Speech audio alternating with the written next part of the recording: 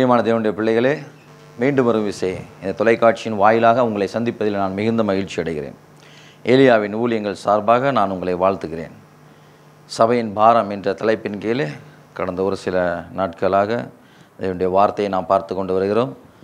சபையை குறித்து கர்த்தர் அடியனுக்கு வெளிப்படுத்தின தரிசனங்களின் அடிப்படையில் வேதத்தின் அடிப்படையில் சில காரியங்களை நாம் தியானித்து கொண்டு வருகிறோம். இப்போ அதன் தொடர்ச்சியை நாம் பார்ப்போம். போன வாரம் எபேசு சபையை குறித்து நாம் பார்த்தோம். அதாவது வெளிப்படுத்தின விசேஷம் இரண்டாவது அதிகாரத்திலிருந்து ஏழு சபைகளை குறித்து எழுதியிருக்குது. அந்த வெளிப்படுத்தின விசேஷம் ரொம்ப விசேஷமான புஸ்தகம். அதனால தான் அதுக்கு விசே விசேஷம் சொல்லி எழுதியிருக்குது. இது தீர்க்க தரிசன புஸ்தகம். அதாவது நடந்த முடிந்த காரியங்கள் நடந்து கொண்டு இருக்கிறவைகள் இனி வரப்போகிற காரியம். இது எல்லாத்தையும் இந்த ஒரு புஸ்தகத்தில் எழுதியிருக்குது. இது முழுக்க முழுக்க யோவானுக்கு வெளிப்படுத்தின தீர்க்க தரிசனத்தின் அடிப்படையில் உண்டான ஒரு புஸ்தகம். இது மற்ற புஸ்தகத்தை போல கிடையாது. இன்றைக்கும் நிறைய பேர் இதை வாசிக்கும்போது இதில் இருக்கிற பல விஷயங்கள் அவங்களுக்கு புரிகிறது கிடையாது. ஏன்னா இது நாம் பார்க்குறது போல் பார்த்து இதை நம்ம மனுஷ அறிவில் நம்ம பேசிட முடியாது. மற்ற புஸ்தகங்களை போல் பேசிட முடியாது. எல்லாமே ஒரு தரிசன அடிப்படையில் ஊமையிலின் அடிப்படையில் எழு கொடுத்துருக்கிற ஒரு புஸ்தகம் இது. இப்போ இதில் இரண்டாவது அதிகாரத்தில் முதலாவது வசனத்தில் இருந்து நம்ம பார்த்தோம் அப்படின்னு சொன்னால் எபேசு சபையை குறித்து அங்கே எழுதியிருக்குது. இங்கே ஏழு சபைகள் வருது. நான் ஏற்கனவே உங்களுக்கு சொல்லியிருக்கிறேன். நீங்கள் போன வாரம் அதுக்கு முந்தின வாரம் உள்ள நிகழ்ச்சியில் நீங்கள் பார்த்துருந்தீங்க அப்படின்னு சொன்னால் இதன் தொடர்ச்சி உங்களுக்கு யூடியூப்லேயும் வெளிவருது. இப்போ நீங்கள் அதில் பார்த்தீங்கன்னா கூட உங்களுக்கு தெரியும் இதுக்கு முன்னாடி என்ன பேசியிருக்கேன்னு சொல்லி. நீங்கள் பாதியில் எதையாவது கொஞ்சம் போல் எடுத்து பார்த்தீங்கன்னு சொன்னால் உங்களுக்கு சரியாக புரியாது. ஒரு சிலர் சொல்கிறாங்க ஒரு அஞ்சு நிமிஷம் வீடியோ நான் பார்த்தேன். அந்த அஞ்சு நிமிஷத்துலலாம் உங்களுக்கு ஒன்றும் புரியாது. நீங்கள் ஒரு காரியத்தை நீங்கள் பார்க்கறதா இருந்தால் இது முழு நிகழ்ச்சியும் பார்க்கணும். இந்த முழு டாப்பிக்கை நீங்கள் பார்த்தீங்கன்னா தான் என்ன சொல்ல வரோம் அப்படிங்கிறது தெரியும். சும்மா பேருக்கு ஒரு அஞ்சு நிமிஷம் பார்த்தேன் பத்து நிமிஷம் பார்த்தேன்னு பார்த்தீங்கன்னா இதில் இருக்கிற எதுவும் புரியாது. ஏன்னா உங்களுக்கு நான் சொல்கிறது வந்து ஏதோ ஒரு ஆசீர்வாதமான அந்த வாக்கு தத்துவம் போல் நீ நல்லா இருப்ப. மோசையீடு இருந்தது போல் உன்னோட கூட இருப்பேன். இனி நீ துக்கத்தை காண மாட்ட. இப்படி இந்த வாக்கு தத்துவ வசனங்களை நான் உங்களுக்கு சொல்லலை. என் நடக்க போகிற காரியங்கள் நடந்து முடிந்த காரியங்கள் எல்லாம் இங்கே தீர்க்க தரிசனமாக எழுதியிருக்குது. அப்போ இதெல்லாம் நம்ம பார்க்குறோம். இதை குறித்து நீங்கள் அறிந்து கொள்ளணும்னு சொன்னால் ஒரு செய்தி உங்களுக்கு கொடுத்தோம் அப்படின்னா அந்த செய்தி முழுமையாக நீங்கள் கேட்டீங்க அப்படின்னா தான் உங்களுக்கு நான் புரியும். இப்போ இன்றைக்கி நான் தொடர்ச்சியாக அது போன வாரம் முடித்ததோட தொடர்ச்சியாக இந்த வாரம் பார்ப்போம். போன வாரம் ஏழு சபையில் முதலாவது சபையாக இருக்கிற ஏபேசு சபையை குறித்து பார்த்தோம். இந்த ஏழு சபைகளுமே ஏசு கிறிஸ்துவுக்கு அப்புறம் ஏசு கிறிஸ்து பரத்துக்கு எடுத்துக்கொள்ள எடுத்துக்கொள்ளப்பட்டதற்கு பிற்பாடு அப்போ சில புஸ்தகம் இரண்டாவது அதிகாரத்தில் இருந்து பார்த்தீங்கன்னு சொன்னால் அங்கே பேதுருவின் நாட்களில் அப்போ சபை ஒன்று அங்கே ஒன்று கூட்டப்படுது. அந்த நாள் துவக்கி கர்த்தராய் இயேசு வருகிற வரைக்கும் ரகசிய வருகை வரைக்கும் இருக்கிற இந்த ஒட்டுமொத்த காலத்தையும் கிறிஸ்தவ சபை தோன்றிய நாள் முதற்கொண்டு ஏசு கிறிஸ்துவனுடைய ரகசிய வருகை வரைக்கும் சபை இருக்கும். அந்த சபையின் காலங்களை ஏழு பகுதிகளாக பிரிக்கிறோம். அதாவது கிட்டத்தட்ட ஒரு சுமார் ரெண்டாயிரம் வருஷம்னு வச்சுக்கோங்க. இந்த ரெண்டாயிரம் வருஷத்தையும் ஏழு பகுதிகளாக பிரிக்கிறோம். சபையின் வரலாறு இரண்டாயிரம் வருஷம் ஆகுது.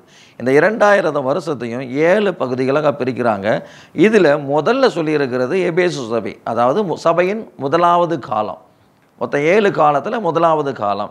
அது எபேசு சபை நீங்கள் எழுதியிருக்குது. இந்த எபேசு சபையை முழுசாக நான் உங்களுக்கு ஏற்கனவே ரெண்டு பகுதியாக நான் சொல்லியிருக்கிறேன். இதில் கடைசியாக நம்ம பார்க்கோம் அப்படின்னு சொன்னால் அந்த எபேசு சபையில் அன்பு குறைவுபட்டது அப்படின்னு சொல்லி நாலாவது வசனத்தில் பார்க்குறோம். வெளிப்படுத்தின விசேஷம் இரண்டாவது அதிகாரம் நாலாவது வசனம் சொல்லுது ஆதியில் கொண்டிருந்து அன்பை விட்டா என்று உன் பேரில் எனக்கு குறை உண்டு. எல்லாத்துலேயும் கரெக்டாக இருக்கிற இவங்க அன்பில் குறைவுபட்டாங்கன்னு சொல்லி நம்ம பார்த்தோம். இது சம்பந்தமான காரியம் நான் உங்களுக்கு ஏற்கனவே விலைக்கு சொல்லிட்டேன். இனி அதன் தொடர்ச்சி அடுத்த காரியங்களை பார்ப்போம். எட்டாவது வசனத்தில் இருந்து நீங்கள் பார்த்தீங்கன்னா எட்டாவது வசனத்தில் இருந்து பதினோராவது வசனம் வரைக்கும் சிமிர்னா சபை குறித்து எழுதியிருக்குது. அதாவது எட்டாவது வசனத்தில் இங்கே சொல்லியிருக்குது சிமிர்னா சபையின் தூதனுக்கு நீ எழுத வேண்டியது என்னவெனில் அதாவது இரண்டாவது காலகட்டம் இந்த முதல் காலம் முடிஞ்ச அடுத்த காலம் சபையினுடைய பரிமாற்றம் அடுத்த கட்டத்துக்கு வருது. அப்போது சிமிர்னா சபைக்கு எழுத வேண்டியது என்ன? அந்த சபைக்கு நியமிக்கப்பட்ட தூதனுக்கு கொடுக்க வேண்டிய செய்தி என்ன? நான் ஏற்கனவே சொல்லியிருக்கிறேன் இந்த தூதன் அப்படிங்கிறவர் அந்தந்த காலத்துக்கு கொடுக்கப்பட்ட ஒரு தூதன். அந்தந்த காலம் வரும்போது சபைக்கு ஒவ்வொரு தூதன் நியமிக்கப்பட்டிருக்கிறார் அவங்களுக்கு கொடுக்கப்பட்ட செய்தி. இப்போ இங்கே பார்த்தோன்னா சிமிர்னா சபையின் தூதனுக்கு நீ எழுத வேண்டியது என்னவெனில் முந்தினவரும் பிந்தினவரும் மறித்திருந்து பிழைத்தவருமானவர் சொல்லுகிறது. அது நான் முதல்லையும் இருந்தேன் இன்னமும் இருப்பேன். நான் ஏற்கனவே உயிரையும் கொடுத்து அதாவது மறித்து உயிரோடு இருக்கிறேன். அது ஆதியில் இருந்தேன் இனியும் இருப்பேன்.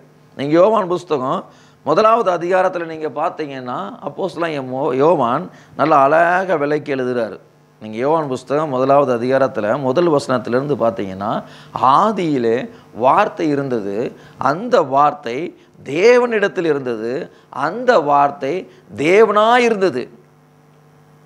ஆதியிலே எல்லாம் அவர் மூலமாய் உண்டாக்கப்பட்டுச்சு அப்படின்னு சொல்லி அங்கே எழுதியிருக்குது. இப்போ நீங்கள் அதை நல்லா வாசிச்சிங்கன்னா அதுக்கு கீழே அப்படியே வாசிச்சிட்டே வரும்போது அவர் மாம்சமாகி வெளிப்பட்டார் அந்த அந்த வார்த்தை மாம்சமாகி வெளிப்பட்டது அப்படின்னு சொல்லி இருக்குது. அப்போ எல்லாத்துக்கும் உலக தோற்றத்துக்கு முன்னாடி இருந்தவர் ஒரு காலத்துக்கு அப்புறம் மனுஷனாக பூமியில் வெளிப்பட்டவர் மறித்து உயிரோடு எழுந்தவர் இனியும் இருக்க போகிறவர் அதாவது பிந்தினவர் இனியும் இருக்க போகிறவர். அப்படிப்பட்டவர் சொல்லுகிறதாவது உன் கிரியைகளையும் உன் உபத்திரவத்தையும் நீ ஐஸ்வர்யம் உள்ளவனாயிருந்தும் உனக்கு இருக்கிற தரித்திரத்தையும் தங்களை யூதன் என்று சொல்லியும் யூதராயிராமல் சாத்தானுடைய கூட்டமாக இருக்கிறவள் செய்யும் தூசணத்தையும் அறிந்திருக்கிறேன்.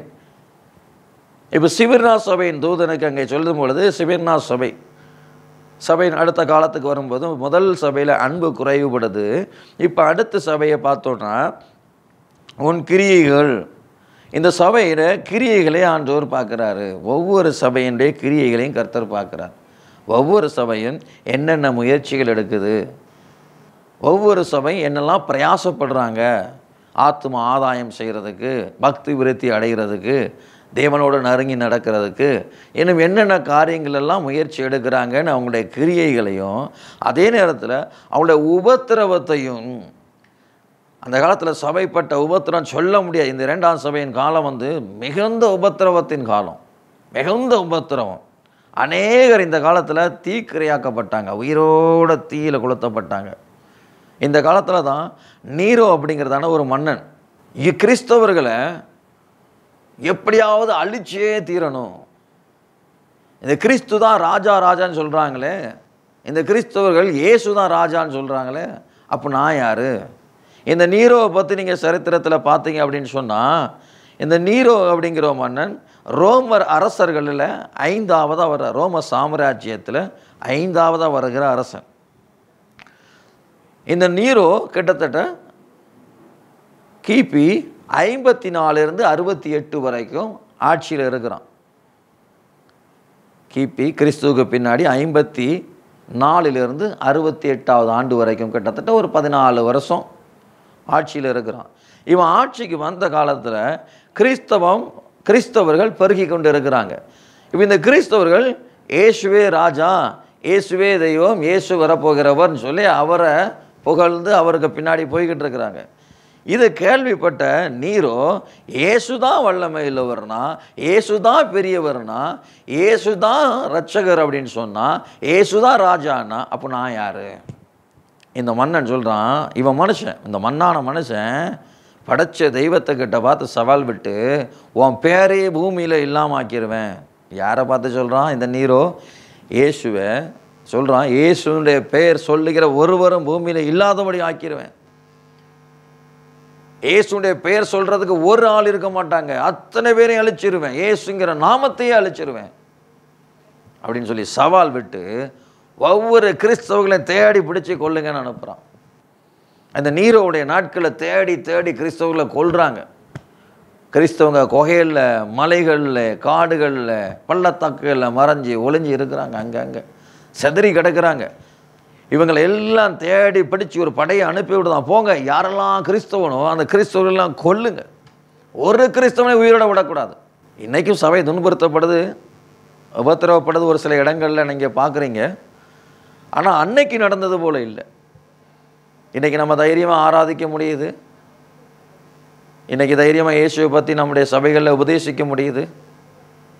ஆனால் அன்னைக்கு அப்படி கிடையாது. ஏற்கனவே மலையிலேயும் குகையில் ஒளிஞ்சு இருக்கிறாங்க. ஒளிஞ்சிருந்து ஆராதிச்சுக்கிட்டு இருக்கிறாங்க. இவங்களை தேடுறோம் எங்கே சபை நடக்குது? தேடி தேடி கொள்ளுங்கன்னு. இப்படி உபத்திரவம் பயங்கர உபத்திரவம் அந்த காலத்தில். அப்படி உபத்திரவம் இருக்கும்போது இங்கே ஒரு கூட்டம் அந்த காலத்தில் வருது நீ ஐஸ்வர்யம் உள்ளவனாய் இருந்து உனக்கு இருக்கிற தரித்திரத்தையும் ஒரு பக்கம் உபத்திரவம் இன்னொரு பக்கம் சபைக்குள்ளே மெல்ல ஐஸ்வர்யம் உள்ள வருது. உங்களுக்கு புரியலை? ஒரு பக்கம் சபைக்குள்ள உபத்திரவம் இருக்குது ஒரு பக்கம் சபை கஷ்டப்பட்டுக்கிட்டு இருக்குது இன்னொரு பக்கம் ஐஸ்வர்யம் உள்ளவனா இருந்து உனக்கு இருக்கிற தரித்திரம் சொன்னால் ஐஸ்வர்யம் உள்ள ஒரு சில கூட்டமும் உள்ள நுழையுது. சாத்தானின் தந்திரம் இங்கே தான் புரிஞ்சுக்கணும். கொஞ்சம் கொஞ்சமாக உள்ள நுழையுது. அப்படி ஐஸ்வர்யம் உள்ளவனா இருந்து உனக்கு இருக்கிற தரித்திரத்தையும் ஐஸ்வர்யம் ஒரு பக்கம் உள்ள வருது. அப்படி ஐஸ்வர்யம் உள்ளே வரும்போது தரித்திரம் ஒரு பக்கம் இருக்குது. அடுத்து தங்களை யூதென்று சொல்லியும் யூதராயிராமல் இன்னொரு கூட்டம் உள்ள இது. ஒன்று சொன்னேன் உங்களுக்கு இதில் எழுதியிருக்குது ஒன்பதாவது வசனம் வெளிப்படுத்தின விசேஷம் இரண்டாவது அதிகாரம் ஒன்பதாவது வசனம் சொல்லுது ஐஸ்வர்யம் உள்ளவனாக இருந்தும் ஐஸ்வர்யவான்கள் கொஞ்சம் உள்ள வர்றாங்க. அடுத்து யூதன் என்று சொல்லியும் யூதராக இராமல் அப்போ பொய்யான கூட்டம். அவன் யூதனே கிடையாது. தன்னை யூதன் சொல்லி கொள்கிறான் அது பொய்யானவர்கள். கிறிஸ்தவரே கிடையாது. கிறிஸ்தவனே கிடையாது. பாவத்திலிருந்து விடுபட்டு கிறிஸ்துவை சொந்த ரட்சகரை ஏற்றுக்கொண்டவனும் கிடையாது. இவன் பொய்யாய் நான் கிறிஸ்தவனுங்கிற போர்வையில் ஒரு கூட்டம் உள்ள நுழையுது. உண்மை கிறிஸ்தவர்கள் இருக்கிறாங்க. முதல் சபையில் பார்த்தோம் கிறிஸ்தவர்கள் உண்மையாக இருக்கிறாங்க. கொஞ்சம் கொஞ்சமாக அன்பு குறைவுபடுது. அன்பு குறைவுபடுற காலத்தில் அடுத்து பார்த்தோன்னா மெல்ல பொய்யான ஒரு கூட்டம். போலியான கிறிஸ்தவர்கள் கொஞ்சம் கொஞ்சமாக உள்ள நுழையிறாங்க. இங்கே அடுத்து சொல்லுது சாத்தானுடைய கூட்டமாக இருக்கிறவர்கள் செய்யும் தூசணத்தையும் அறிந்திருக்கிறேன். இந்த சாத்தான் கூட்டம் கொஞ்சம் உள்ளே வருது. இந்த பொய்யான ஏமாற்றுகிற கள்ள ஊழியர்கள் போலி கிறிஸ்தவர்கள் பெயர் கிறிஸ்தவர்கள் வேஷம் போடுகிற கிறிஸ்தவர்கள் கிறிஸ்தவன் என்று சொல்லிக்கொண்டு கிறிஸ்துடைய வழியில் நடக்காதவர்கள் கிறிஸ்துவுக்கு பிரியமில்லாத காரியத்தை செய்கிற கூட்டம். ஆனால் யாருன்னு கேட்டால் கிறிஸ்தவன்னு சொல்லுவாங்க. கிறிஸ்துவுக்கு அவங்களும் சம்மந்தமே இருக்காது. அப்படிப்பட்ட கூட்டங்கள் எல்லாம் அப்படியே கொஞ்சம் உள்ளே வருது. இப்போ சபையில் கொஞ்சம் மிக்ஸ் ஆகுது. ஒரு சுத்தமாக இருந்த ஒரு சபைக்குள்ளே உண்மையாக இருந்த சபைக்குள்ளே உண்மையாய் தேவனை ஆராதிச்ச உண்மையான கூட்டம் இருந்த இடத்துல இப்போ பொய்யானவர்கள் சாத்தானுடைய கூட்டத்தார் உள்ளே வர்றாங்க. சாத்தானுடைய கூட்டமாக இருக்கிறவர்கள் செய்யும் தூசணத்தையும் அறிந்திருக்கிறேன். அடுத்த வசனம் சொல்லுது நீ படப்போகிற பாடுகளை குறித்து எவ்வளவும் பயப்படாது. இப்படி பொய்யான ஒரு கூட்டம் உள்ளே வருது அந்த நேரத்தில் இந்த சபைக்கு இன்னும் உபத்திரவமும் இருக்குது. பயங்கர உபத்திரம் ஒரு பக்கம் இருக்குது கொஞ்சம் கொஞ்சம் பொய்யான கூட்டங்களும் உள்ளே நுழையுது. இப்படி படப்போகிற பாடுகளை குறித்து எவ்வளவும் பயப்படாது. இதோ நீங்கள் சோதிக்கப்படும் பொருட்டாக பிசாசானவன் உங்களில் சிலரை காவலில் போடுவான். பாருங்கள் இந்த சபையில் இருக்கிற ஒரு சிலரை இந்த காலத்தில் காவலில் ஜெயிலில் தூக்கி போடுறாங்க. பிடிச்சி அரெஸ்ட் பண்ணுறாங்க பத்து நாள் உபத்திரவப்படுவீர்கள் பத்து நாள் நான் பத்து வருஷம். நான் சொன்னேன்ல இந்த நீரோ எப்போ ஆட்சிக்கு வர்றான்? ஐம்பத்தி நாலு அவன் மறிக்கான் எப்போ? அறுபத்தி எட்டு அவன் ஆட்சிக்கு வந்து நாலு வருஷம் ஆகுது. இந்த நாலு வருஷம் ஆனதும் அவன் பார்க்கான் கிறிஸ்தவர்கள் ஒரு பெயர் அதிகமாக உச்சரிக்கிறாங்க. அவன் ஆட்சிக்கு வந்து நாலு வருஷம் கழித்து பார்க்கான் எல்லாரும் நீரோ தான் அரசன் நீரோ தான் பெரியவன் நீரோ தான் கடவுள்னு சொல்லி சொல்லிக்கிட்டு இருக்கிறாங்க. நீரோ தான் எல்லாமே அப்படின்னு சொல்லிக்கிட்டு இருக்கும்போது இங்கே ஒரே ஒரு கூட்டம் ஏசு தான் எல்லாமே ஏசு தான் கடவுள் ஏசு தான் ராஜா ஏசு தான் பெரியவர்னு ஏசுடைய பெயரை சொல்லிக்கிட்டு இருக்காங்க. இந்த நீரோ பார்க்க ஆட்சிக்கு வந்து நாலு வருஷத்தில் இவ்வளோ பெரிய கூட்டம் நான் தான் பெரிய ஆளுன்னு சொல்லிக்கிட்டு இருக்கும்போது ஒரு சின்ன கூட்டம். இந்த மலையிலையும் காட்டுலையும் ஒளிஞ்சு ஒளிஞ்சு கிடக்கிற ஒரு சின்ன கூட்டம். இயேசு தான் பெரியவர்னு சொல்லிக்கிட்டு இருக்கான். இயேசு தான் கடவுள்னு சொல்லிக்கிட்டு இருக்கான். இயேசு தான் ரட்சகர் மீட்பர் சொல்லிக்கிட்டு இருக்கான். இயேசு தான் ராஜான்னு சொல்லுதான். இயேசு ராஜான்னா அப்போ நான் யார்? அப்போ நான் யார்? இந்த இயேசுக்கிட்ட சவால் விடுறான் அவன். அவன் சொல்கிற இயேசுவை பார்த்து உன் பேரே பூமியில் இல்லாத மாதிரி நான் செஞ்சிருவேன். சவால் விட்டு பத்து வருஷம் கிறிஸ்தவர்களெல்லாம் அழிக்கும்படி ஆட்கள் அனுப்புதான். கிறிஸ்தவர்களை தேடி தேடி கொலை செய்கிறாங்க அவன் நாட்களில் அநேகரை நிர்வாணமாக்கி சரித்திரம் சொல்லுது அவன் குளிர் காய்கிறதுக்காக கிறிஸ்தவர்களை ஒரு கம்பத்தில் கட்டி வச்சுட்டு சுற்றி நெருப்பு வச்சுருவானான் அந்த நெருப்பு கிறிஸ்தவர்கள் மேலே பற்றி எரியும். தீ பிடிச்சி எரியுமா கிறிஸ்தவர்கள் மேலே.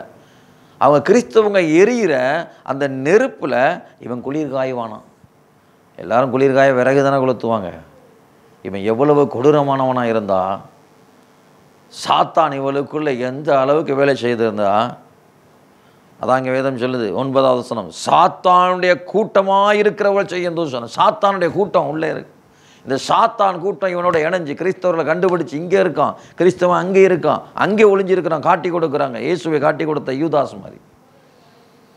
அப்போ பிடிச்சி கிறிஸ்தவர்கள் எங்கே இருக்கிறான் கண்டுபிடிச்சிட்டாங்கன்னா அவனை பிடிச்சு கொண்டு வருவாங்க. கொண்டு வந்து கம்பத்தில் கட்டி வச்சு எண்ணெயை ஊற்றி தீயை கொளுத்திடுவாங்க. இந்த கிறிஸ்தவர்கள் மேலே தீ பிடிச்சி எரியும். அப்படி தீ பிடிச்சி எரியும். அவங்க அலறி கத்தும் போது நீரும் அவங்க முன்னாடி ஒரு ஸ்டூலை போட்டு ஒரு சேரை போட்டு உட்காந்துருப்பான் குளிர் காஞ்சிக்கிட்டு. பாருங்கள் எவ்வளவு கொடூரம். அநேகரை நிர்வாணமாக்கி அவங்க தோலை உயிரோட உரிச்சி ஆட்டுக்கு தோல் உரிச்சு பார்த்துருக்கீங்க. இது ஆட்டை தோல் உரிக்கும் போது கூட ஆட்டோட கழுத்தை அறுத்துட்டு தான் தோல் உரிப்பாங்க. ஆனால் இங்கே ஒருத்தன் இவன் எப்படிப்பட்டவனாக இருந்திருந்தா மனுஷனை உயிரோட தோலை உரிச்சிருப்பான். கிறிஸ்தவர்களை உயிரோட தோலை உரிச்சு. இப்படி செஞ்சால் இந்த கிறிஸ்தவர்கள் எல்லாம் பயந்து இயேசுவை மறுதளிச்சிருவாங்க ஏசு ஒன்றும் இல்லை நீரோ தான் கடவுள்னு சொல்லிடுவாங்க இந்த நீரோ கையிலிருந்து கிறிஸ்தவர்களை யார் காப்பாற்ற முடியும்? என் கையிலிருந்து யாராவது காப்பாற்ற முடியுமா? பார் ஏசுவை விட நான் தான் பெரியவன் பார். உயிரோட தோல் உரைக்கிறான். அநேகரை பலாத்காரம் பண்ணுறது பெண்களுக்கு விரோதமான கொடுமைகள் பிள்ளைகளுக்கு விரோதமான கொடுமைகள். இப்படி என்னெல்லாம் செய்ய முடியுமோ எந்த அளவுக்கு உச்சக்கட்டமாக செய்ய முடியுமோ அந்த அளவுக்கு அவங்கள துன்புறுத்துறது. உயிரோட ஒருத்தனை தோலை உரிச்சோன்னா எப்படி இருக்கும் பாருங்க. அவன் செத்ததுக்கப்புறம் உரிச்சா கூட தெரியாது. உயிரோடு இருக்கும்போதே உரிச்சா தோலை உரிக்கும் போது அவனுடைய வலி எப்படி இருக்கும்? உயிரும் போகாது. வேதனை எப்படி இருக்கும்? ஒரு சின்ன காயம் பட்டால் நமக்கு எப்படி வலிக்குது? ஒரு மனுஷனை உயிரோட தோலை உரிச்சா கொஞ்சம் கற்பனை பண்ணி பாருங்கள் எப்படி இருக்கும்? இன்றைக்கி கிறிஸ்தவன் நீ நான் சொல்கிறோமே இந்த கிறிஸ்தவம் கடந்து வந்த பாதை ரொம்ப கடினமான பாதை வழியாக வந்திருக்குது. ரொம்ப உபத்திரவத்திலையும் இந்த இயேசுவை தெய்வமாக நீயும் நானும் சொல்கிறோமே இந்த இயேசு தான் தெய்வம்னு இன்னைக்கு நீயும் நானும் அறிஞ்சிருக்கிறோமே. இன்றைக்கி நானும் நீயும் ரட்சிக்கப்பட்டிருக்கிறோமே. பரலோகத்துக்கு வாசல் நமக்கு இன்றைக்கி காட்டப்பட்டிருக்குதே. இதெல்லாம் நம்ம கைக்கு கடந்து வர்றதுக்கு முன்னாடி பல பேர் உயிர் தியாகம் பண்ணியிருக்கிறாங்க. பல பேர் உயிர் ரத்தம் பூமியில் சிந்தப்பட்டிருக்குது. இவ்வளவு வேதனைகளையும் கொடுமைகளையும் அனுபவித்து தான் இந்த கிறிஸ்தவ வரலாறு படைக்கப்பட்டது. ஆனால் அவன் எவ்வளவு போராடியும் எவ்வளவு கிறிஸ்துவ நாமத்தை அழிக்க நினைச்சானோ எவ்வளவு கிறிஸ்தவர்களை ஒழிக்க நினைச்சானோ அதை விட வேகமாய் கிறிஸ்தவம் பரவிச்சு. இவன் நினைச்சான் கிறிஸ்தவங்களை துன்புறுத்தினா மற்றவங்கெல்லாம் பயந்துருவாங்கன்னு. இன்றைக்கும் சில பேர் அப்படி நினச்சிக்கிட்டு இருக்கான் பைத்தியகாரத்தனம் சில பேர் நினைக்கிறான் பைத்தியகாரத்தனமாக கிறிஸ்தவனை அடித்தா அவன் பயந்துருவான்னு நானும் ரத்னகிரிங்கிற பகுதியில் மகாராஷ்டிராவில் ரத்னகிரிங்கிற பகுதியில் ரெண்டாயிரத்தி பதினொன்று ஏப்ரல் மாதம் ரெண்டாயிரத்தி பதினொன்று ஏப்ரல் மாதம் ரத்னகிரி ரத்னகிரிங்கிற பகுதி இருக்குது மகாராஷ்டிராவில். அந்த ரத்னகிரியில் ஊழியத்துக்காக போயிருந்தேன். அங்கே இயேசுவை அறியாத சகோதரர்கள் என்னை அடித்தாங்க நீ எப்படி இயேசு தான் தெய்வம்னு சொல்லுவேன் இயேசுவே நீ இயேசுவே அன்பான தெய்வம் நீ எப்படி சொல்லலாம்? இயேசுவே அன்பான தெய்வம் அப்படின்னு எப்படி சொல்லலாம்னு சொல்லி அடித்தாங்க அப்போ அவன் என்ன யோசித்தான் அடித்தா இவன் பயந்து ஓடிடுவான். அடித்தா இவன் இயேசு தெய்வம் இல்லைன்னு சொல்லிடுவான். பைத்தியக்காரங்க. மறிக்கிறதுக்குன்னு வந்தவன். அடிக்க பயப்படுவானா? கர்த்தருடைய ஆவி பரிசுத்த ஆவி ஒருவனுக்குள்ளே இருக்கும்னு சொன்னால் அடித்தாலாம் பயந்துருவானா? கொண்டுட்டா ஒருத்தனை கொண்டுட்டா பயப்படுவானா? இந்த பைத்தியக்காரங்களுக்கு புரியல. அப்படி கொன்னா உண்மையான கிறிஸ்தவன் சாவு முன்னாடி வரும்போது என்ன சொல்லுவான் தெரியுமா? ரொம்ப நன்றின்னு சொல்லுவான். ஏன் தெரியுமா? இந்த சாத்தானுடைய ஆட்சிக்கு கீழே சாத்தான் செய்கிற இந்த சாத்தானுடைய கூட்டத்தில் இங்கே வாழ்கிறத விட இந்த பாவ உலகத்தில் சாத்தானுடைய ஆட்சின்னு சொன்ன உடனே நீங்கள் தப்பாக நினச்சிடக்கூடாது. பூமியில் பாவத்தை செய்யும்படி தூண்டுறது யார்? சாத்தான் பிசாசு. அப்போ இந்த பிசாசு பூமி எங்கு பாவத்தை செய்யும்படி ஜனங்களை தூண்டி துன்பப்படுத்திக்கிட்டு இருக்குது? இப்படிப்பட்ட பாவ கிரியைகள் நிறைந்த இந்த உலகத்தில் வாழ்ந்துகிறத விட பரிசுத்த உலகம் பரலோகம் இந்த பரலோகத்துக்கு போகிறது எவ்வளவு சந்தோஷம். இன்னொரு முப்பது வருஷம் நாற்பது வருஷம் இந்த உலகத்தில் பார்க்கக்கூடாத காரியங்களை பார்த்து எல்லா கஷ்டங்களோட துன்பத்தோடு அனுபவிச்சு இங்கே இருக்கிறதுக்கு நம்ம கண்ணு முன்னாடி மரணம் வந்து நிற்கின்னா நாற்பது வருஷம் கழித்து போக வேண்டிய இடம் இப்போவே நமக்கு பரலோகம் கண்ணுக்கு தெரிஞ்சான் எவ்வளோ சந்தோஷம். உண்மை கிறிஸ்தவன் பரிசுத்தாவை பெற்றான் அப்படி தான் பார்ப்பான். நாற்பது வருஷம் கழித்து நான் பரலோகம் போகிறதுக்கு இன்றைக்கே போகிறதுக்கு எனக்கு ஒரு வாய்ப்பு கிடச்சிங்கன்னா அல்லேலியா சோத்துறோன்னு வெளியே தலையை வெட்டதுக்கு கழுத்தை கொடுத்துருவான் வெட்டுன்னு. சிலர் நினைப்பான் சிலர் இப்போ நான் பேசும்போது பார்த்துட்டு உண்மையிலே மரணம் இவன் கண்ணு முன்னாடி வந்தால் தெரியுமா? எனக்கு பல முறை வந்திருக்கு. சும்மாலாம் கதை விடலை. நான் யூபியில் பீகாரில் மகாராஷ்டிராவில் தெருக்கல்ல ஒளியம் பண்ணியிருக்கேன். கைப்பிரதிகள் கொடுத்துருக்கேன் தெரு பிரசங்கம் பண்ணியிருக்கேன். உத்தரப்பிரதேசத்தில் ஒரு ஒரு சமயம் இயேசுடைய நாமத்தை குறித்து சொல்லும்போது ஒரு ஐம்பது அறுபது பேர் கையில் கம்போடு நின்னாங்க. என் கூட இருக்கிற கூட்டம் கொஞ்சம் பயந்து பின்னுக்கு போனாங்க. என்ன நடக்குமோன்னு தெரியலையேன்னு. ஆனால் அந்த இடத்துலையும் யாருக்கும் பயப்படாமல் கர்த்தருடைய நாமத்தை சொல்ல இன்னும் அநேகர் அந்த இடத்துல கர்த்தரை ஏற்றுக்கொள்ளவும் பரிசுத்தாவினை கிரியை செய்தார். உண்மை கிறிஸ்தவன் பரிசுத்த ஆவியை பெற்றவன் பயப்பட மாட்டான். இந்த அடிக்கு மரணத்துக்கெல்லாம் பயப்பட மாட்டான். இவங்க நினைக்கிறது அடித்தா துன்புறுத்தினா பயந்துருவாங்கன்னு. அப்படி கிடையாது.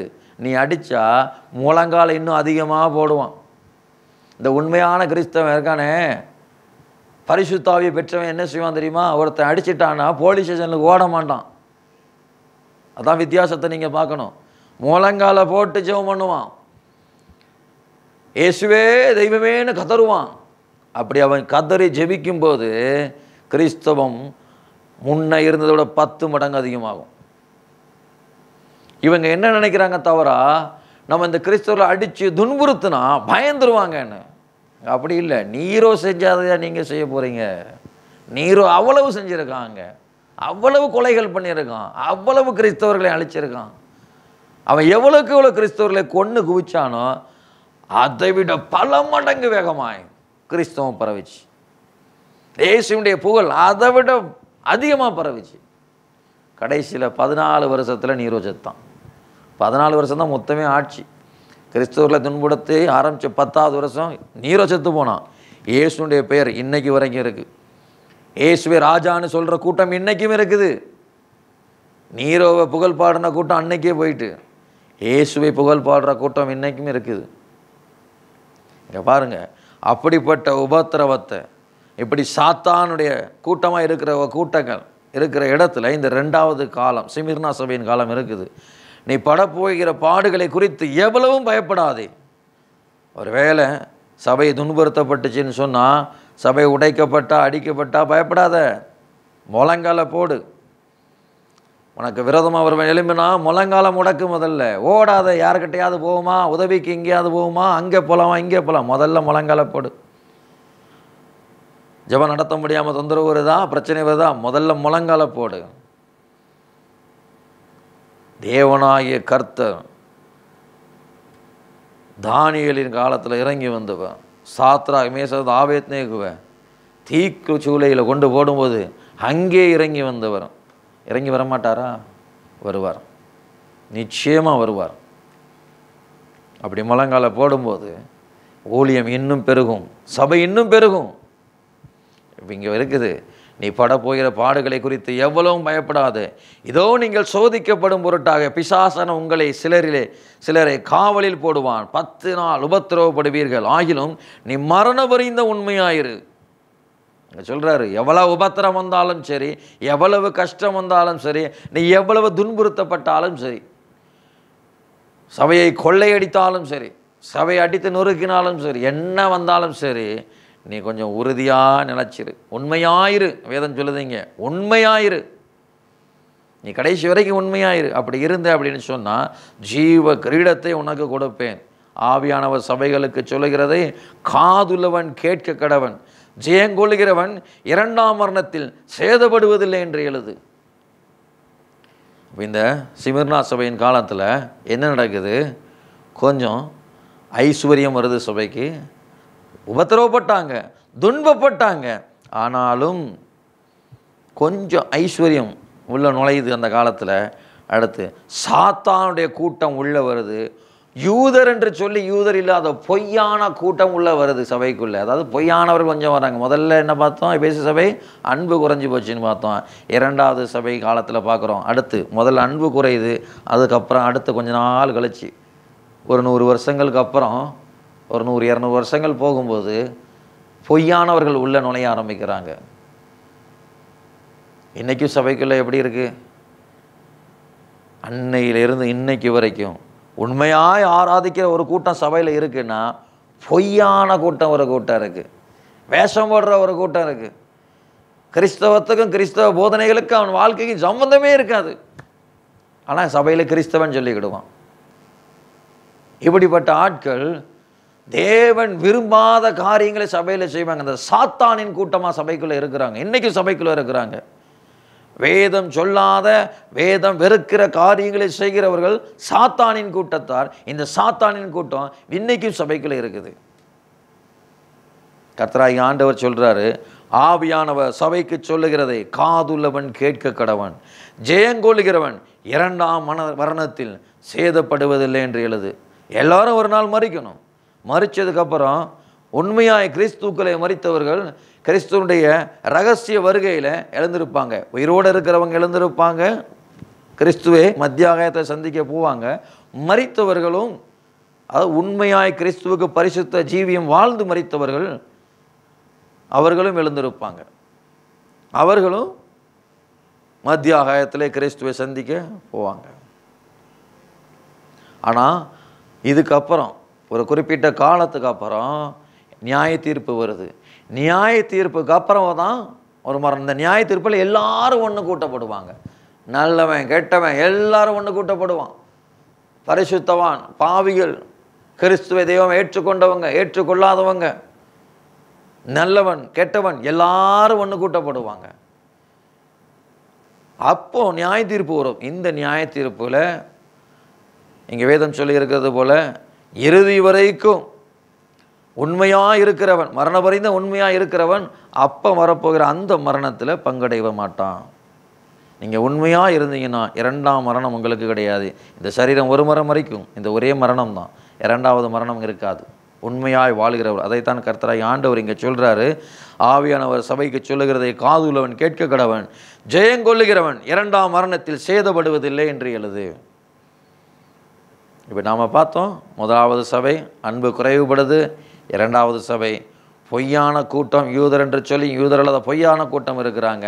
சாத்தானின் கூட்டம் சபை கீழே வருது. இனி அடுத்த வாரம் அதற்கு அடுத்த சபையை குறித்து நாம் பார்ப்போம். இப்போ இரண்டு காலத்தை நாம் பார்த்துருக்குறோம். மூன்றாவது காலத்தை குறித்து அதற்கு அடுத்த சபையில் வேறு என்ன காரியம் குறைவு போட்டதுன்னு சொல்லி அடுத்த வாரம் பார்ப்போம். கருத்தர் உங்களை ஆசீர்வதிப்பாராக. ஆமாம்